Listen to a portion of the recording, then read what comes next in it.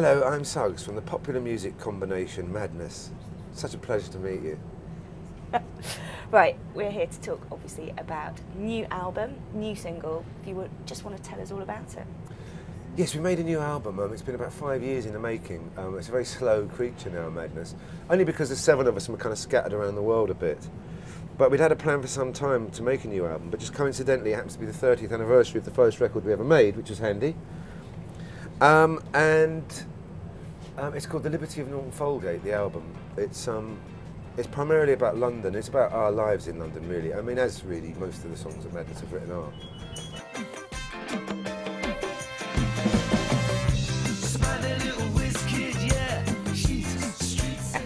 But um, yeah, and the single off the album, the first single is called Dust Devil, and it's just about a kind of wayward girl who's having a rather enjoyable evening.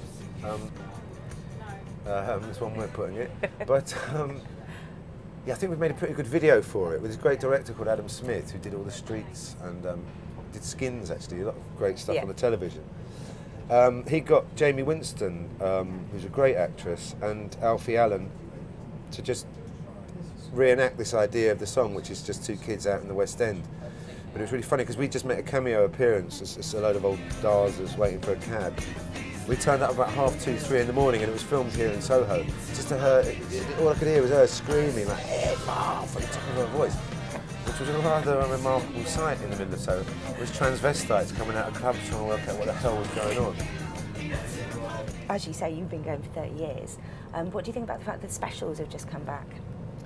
Um, I think the Specials are a really great band. You know, I mean, obviously we have a huge connection with them. I mean, without them, we probably wouldn't have really got where we are.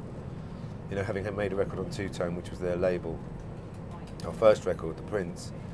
Um, yeah, I mean, I was talking to someone the other day. I really vi- vividly remember when I saw a picture of them in a, in a music paper. I couldn't believe there were people who were so like-minded with what we we just thought we were in our own little bubble. And they came to play in this pub called the Hope and Anchor, which we used to hang out in. And Is that um, Islington? in Islington at the Angel, yeah. It was it, you know, it- amazing, really, because it was so many bands. I mean, like the Pretenders and Dire Straits and the Enduring, and so many.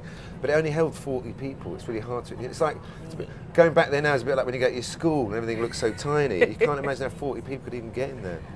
But um, have you met her? Because obviously she's one of Camden's most famous residents, isn't she? Even though she's moved up to High Barnet, hilariously. Yeah, I, I think she's great, Amy Winehouse. But last time I saw her, actually, I met her in the street. I don't really know her, but yeah, of course I see her around in Camden. But um, I'd been out for dinner with my family and a couple of friends. I was walking up the road and I saw Henry, the owner of the Dublin Castle, said, "Oh, there's a secret gig with Amy Winehouse tonight. If you want to come in," I said, "Oh, great." So I said goodbye to my family. I said, "It won't be long." It was like half eleven.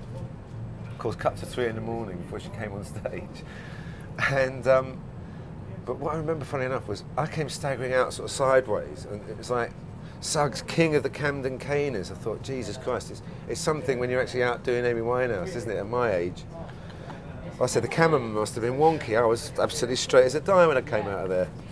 But I think she's a great artist, isn't she? What a phenomenon! I think she's absolutely fantastic. Yeah. Just a shame she can't keep it together sometimes. But she threw chips at me in the Hawley Arms once. You see, I'm just bitter about Ah, it. yeah. Well, you would be. Yeah, you would be.